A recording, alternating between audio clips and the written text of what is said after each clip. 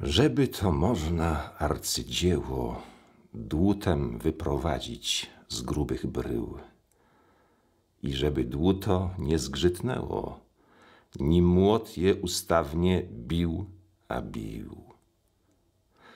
Żeby to tchem samym harmonii można było kręcić wozów oś i bez skrzypnięcia wstecz ironii, żeby się udało zrobić coś.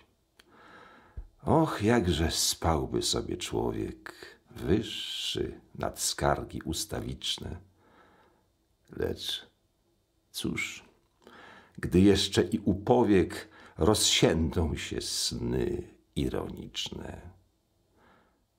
Uczucie zwiedza bez ironii szlaki bite cudzym cierpieniem. Lecz kto był pierwej tam, wie o niej, że jest koniecznym bytu cieniem. Ty myślisz może, że wiek złoty bez walk sam przyjdzie do ludzkości.